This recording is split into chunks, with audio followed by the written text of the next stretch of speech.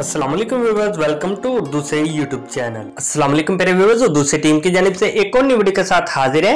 और आज की इस वीडियो में हम आपको बताने वाले हैं आइला नेम के मीनिंग और इसकी तफसीलात। आइला के इंग्लिश में स्पेलिंग बनते हैं double A I L A jeans लड़की है मज़हब है मुस्लिम। आइला के मायने है खूबसूरत, चाँद की तरह।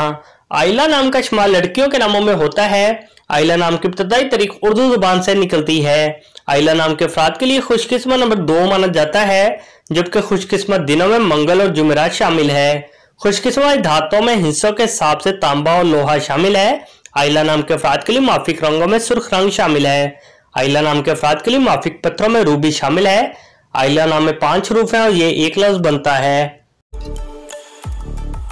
अपने नाम का मीनिंग जानने के लिए कमेंट बॉक्स में लिखिए चैनल को सब्सक्राइब कीजिए वीडियो को लाइक और शेयर कीजिए। Thanks for watching